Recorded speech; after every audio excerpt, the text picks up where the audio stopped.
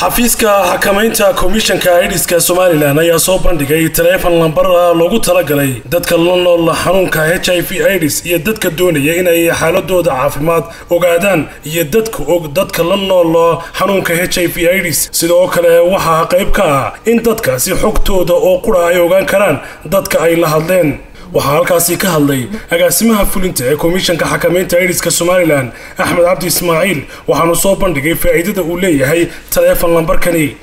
Maanta waxaynu dah furaynaa xarunta wicitaanka ee komishanka xakamaynta aidiska xaruntaa waxaa loogu talagalay in qof kastoo reer somalilanah ama xanuunka hala noolaado ama warbixinaha ka doonayo ama xog kaloo ku saabsan ha doonee waa xaruntii laga soo wacayey ee xogta laga helayay wuxuu fududayn doonaa in qorshaheenna ah inaan la dagaalanno oon xakamayno xanuunkaa meelaha loo marayo iyo dariiqooyinka loo marayo iyo hababka lagu gaadhayo ujeeddada laba kun iyo soddonka inoo qoranee ah inaan xanuunkaasi aan cidhib tirno waa mid ka mid ah. Bulshada reer somalilanna waxaan ku dhiirigelinayaa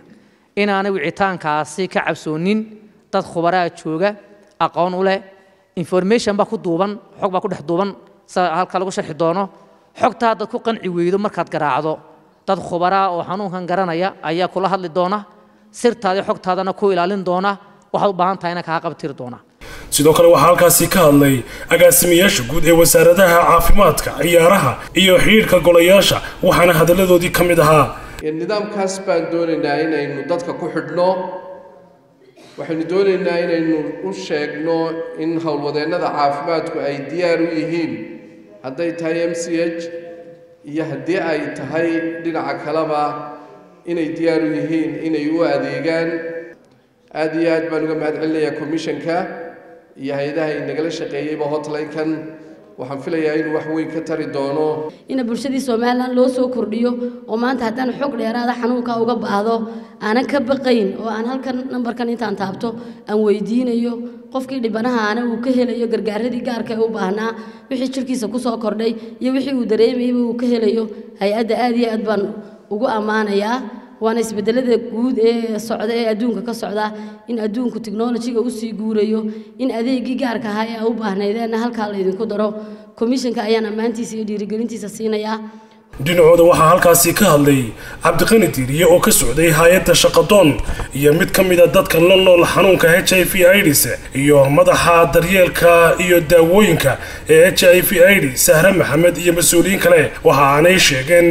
baahida loo qabo taleefon lambarkani iyo sida uu u soo koobi doono sida loo ogaan karo dadka la nool xanuunka h i v idis waxaana hadalladoodii ka mid ahaa. Adeegan waxaa laga isticmaali karaa shirkadaha somtel iyo telesomba waana adeeg uu qofku helayo xogo ku saabsan.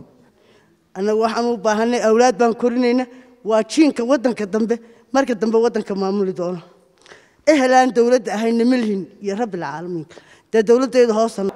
Maanta waxaanu daah furaynaa. Oo aanu halkan ku daah furaynaa.